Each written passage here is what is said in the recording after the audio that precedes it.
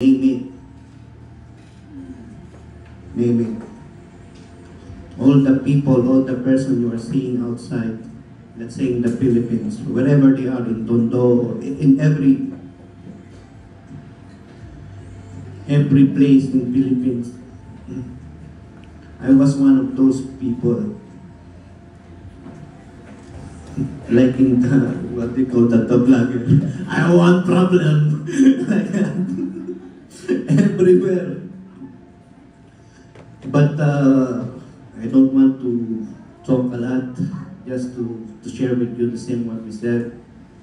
Once we start Bible study and we, we come to this church, just really, uh, now we are going to just to testify that really our God and in this church, God is alive. Jesus Christ is here. Uh, I'll just go through an hour vacation. So once we go on our vacation, uh, finally uh, for eight years, I wasn't go uh, home in the Philippines for eight years due to many reasons. We have been here for a lot of issue, a lot of issue, many We've been uh, through financial, really very deep financial struggle. Like, almost one, almost nine years to Philippines because um, because of the financial issues. And uh, we need to keep our kids in the Philippines. Jane is here right now by the grace of God and uh, my other son. So on this week, last hour on our vacation last July,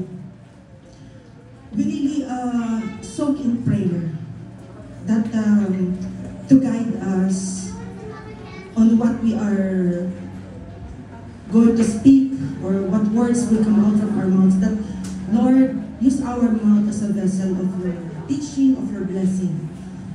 So when we reached home last July,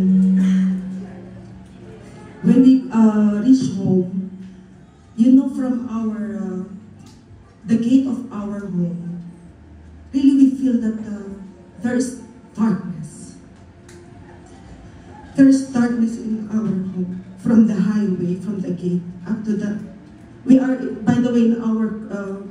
our home, we are three homes, my grandmother, my our house, and our uh, auntie.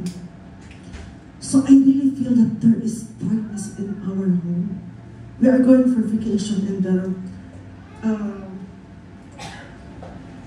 the God already revealed to us that um, there is a demon staying in our compound.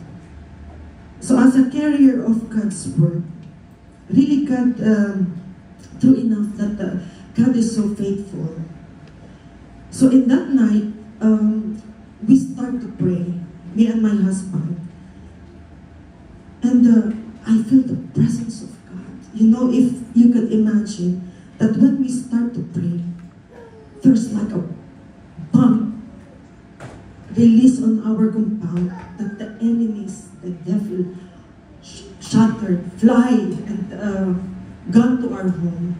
And as we declare the goodness of God, you know, this is the first time I experienced that ito pala yung, yung open heaven na sinasabi ni Pastora, na you are seeing Jesus, you, the angels are surrounding you, protecting you, and He will just use your mouthpiece, what you will say, or what you will declare, or what you will pray. So as we continue praying, me and my husband were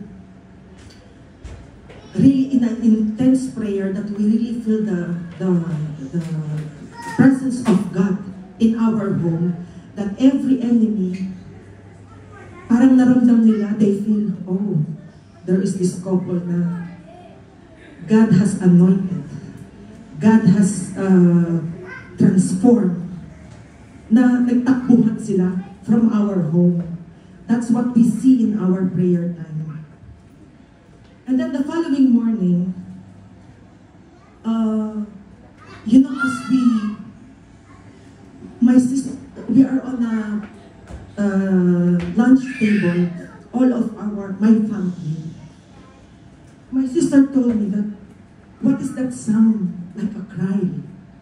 That they she cannot understood what I am praying or what I am saying. She just hear like a, a loud uh, crying in our room. So it starts up a conversation with the whole family, my mother, my father, my sisters.